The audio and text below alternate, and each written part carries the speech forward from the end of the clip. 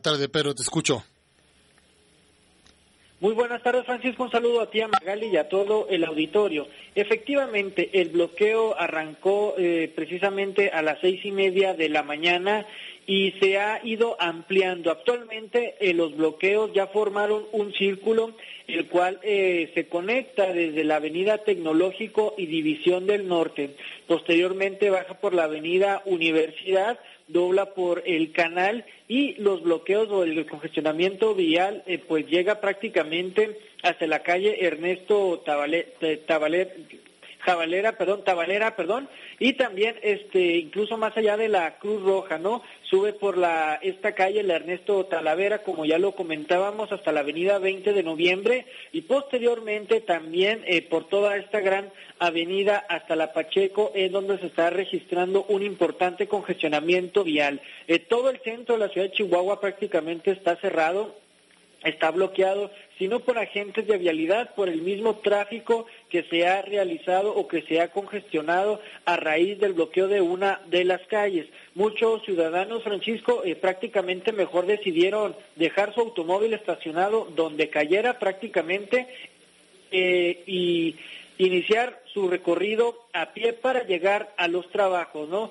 Mucho ausentismo en los comercios del centro de la ciudad, mucho ausentismo en las oficinas gubernamentales, otros tantos más han llegado tarde a sus trabajos, pero bueno, todavía continúa esta situación a tal grado, Francisco, que lamentablemente los ciudadanos ya comenzaron a caer y les pedimos que no lo hagan en una histeria, ¿no? En un enojo a tal grado de que, por ejemplo, dos mujeres golpearon a un adulto mayor en el cruce de las calles Progreso y Ocampo a consecuencia de este malestar que se generó por el bloqueo del centro por parte de los transportistas fue en el cruce de, las calles Progreso y Ocampo, como ya lo mencionábamos, donde dos mujeres que iban a bordo de un vehículo Versa de color guinda bajaron de su vehículo y posteriormente golpearon a un hombre de aproximadamente 80 años de edad. Esto ya que pues eh, de acuerdo a la versión de las propias conductoras, el adulto mayor no realizó el, alto correspondiente, no respetó el paso peatonal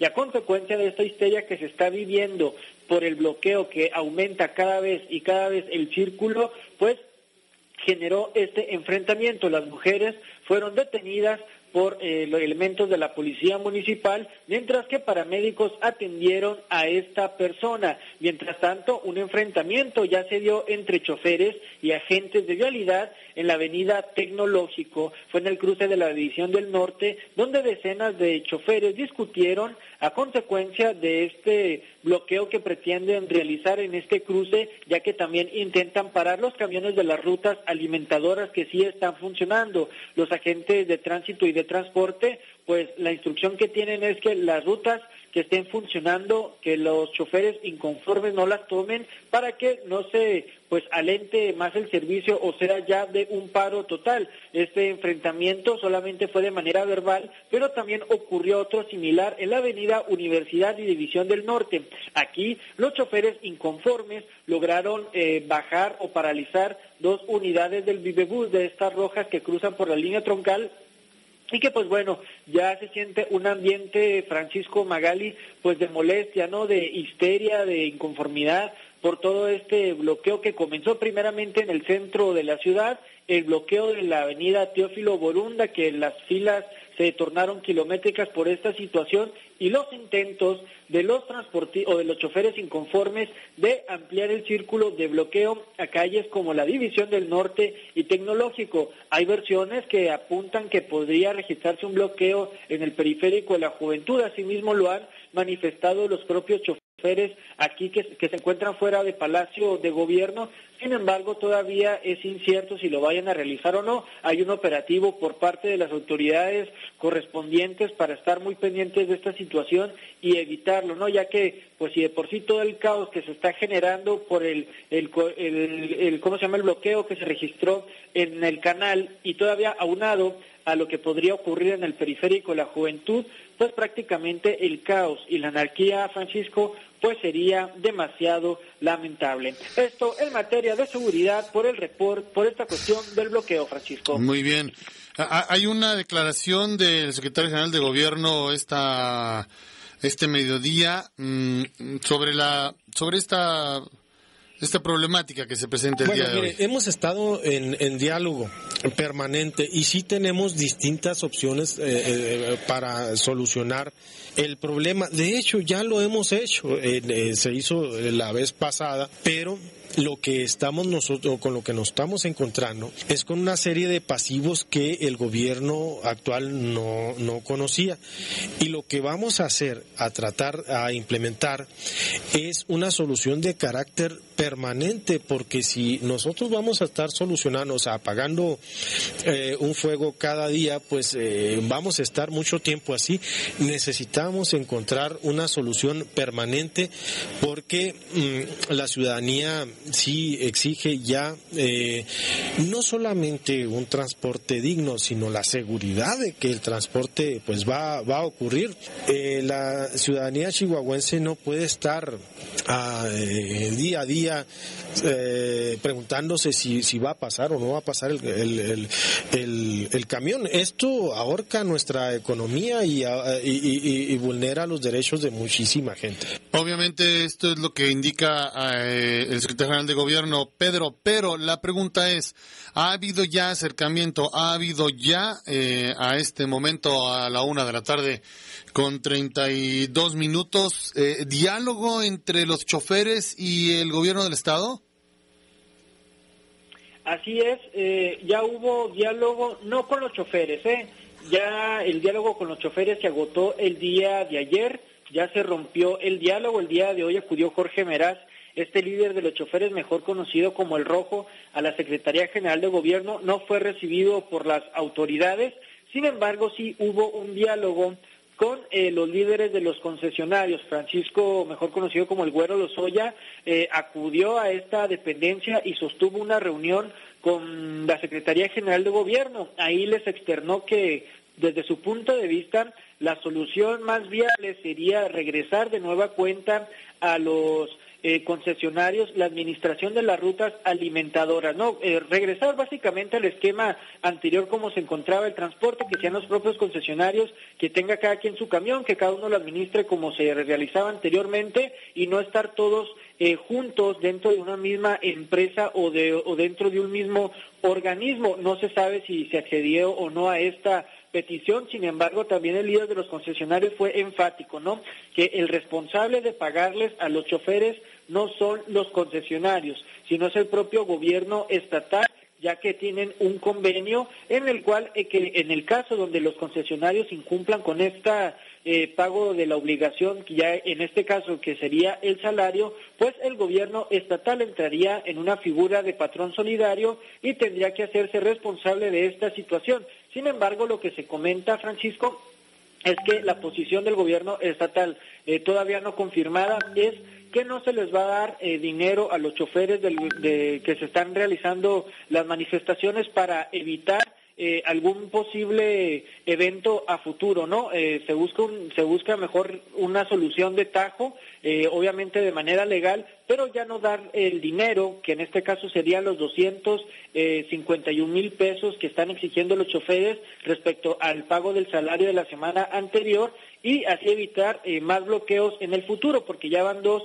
bloqueos en menos de 20 días que tiene el actual gobierno y pues lo que buscan es eh, evitar ya en el futuro más bloqueos o más manifestaciones donde se exija el pago del salario correspondiente y donde el ciudadano sea el más afectado. Buscan un, mejorar el esquema administrativo, sin embargo no darle el dinero a los choferes eh, en particular para eh, evitar, como lo decía ya en un futuro, pues eh, más bloqueos y sobre todo pues más manifestaciones de este tipo. Esto es lo que ha trascendido y no se ha, no se ha hablado si va a haber algún operativo por parte de los cuerpos de seguridad, no se sabe tampoco si va a haber alguna requisa de las concesiones, tampoco se ha dado a hablar en este caso. Sin embargo, es lo único que se ha trascendido, porque también el tema, hay que decirlo, se ha manejado un poco hermético sobre cuál va a ser la solución, no de fondo, porque de fondo se necesita mucho, sino una solución al menos parcial para poder quitar este bloqueo que se ha generado eh, prácticamente en todo el centro y alrededores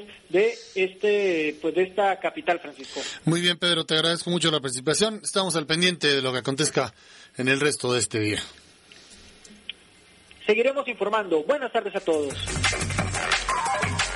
Bueno, pues ahí tiene usted un panorama de lo que se está mm, viviendo a esta hora de la tarde, un asunto que inició, como se lo comentaba, muy temprano, entre las cinco y media y las seis de la mañana, en la que los choferes decidieron, uh, pues, paralizar o detener primero su trabajo y segundo, bloquear las calles de la capital. Iniciaron con el centro propio, con los cruces de la avenida Venustiano Carranza en La Juárez, en la Aldama, bajaron a la Neri Santos y doblado, donde pusieron otro camión, que hasta este momento se encuentra ahí. Luego se bajaron a la Neri Santos y Canal, aquí junto a las instalaciones de Radiorama y por allá de las 11 de la mañana decidieron bloquear la, el cruce de las avenidas Ocampo y, Niños Héroes. A esta hora vemos cómo está un camión bloqueando el eh, em, carril exclusivo para la ruta troncal. Y bueno, pues, ¿a qué hora se va a terminar este asunto? Es algo que, pues, perdóneme que se lo diga, no lo sabemos pero estaremos informándole a usted sobre qué es lo que puede pasar en próximas horas, Magali. Bueno, pues eh, hace un rato eh, Guillermo Hernández, el director de transporte, declaró que no hay lana, no hay dinero para pagar. No, lo dijo desde la mañana, ¿eh? ¿eh? Sí, y el personal de transporte público debido a que la operadora de Vivebus fue saqueada. Y bueno, señaló que el sistema está saqueado en diferentes etapas, situación que propicia que menos del 10% del dinero llegue directamente a la operadora, lo que la mantiene sin fondos. Afirmó que desde que se suben los pasajeros, los choferes se quedan con una parte del dinero luego los que los trasladan hasta el interior de la misma operadora. En ese sentido, comentó que analizan al volver al cobro del pasaje de manera electrónica en el sistema de transporte. Sin embargo, aún se encuentran verificando esta decisión.